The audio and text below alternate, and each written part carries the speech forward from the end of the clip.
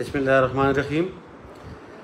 ہم عمران خان کی رہائی کے لیے نکلے ہیں۔ ہم اس ملک میں آئین و قانون کی حکمرانی کے لیے نکلے ہیں۔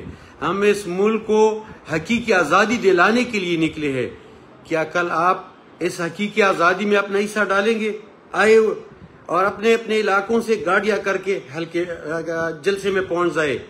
جلسے میں پہنچنا آپ کی اس ملک کی حقیقی آزادی میں اپنا حصہ ڈالنا ہے۔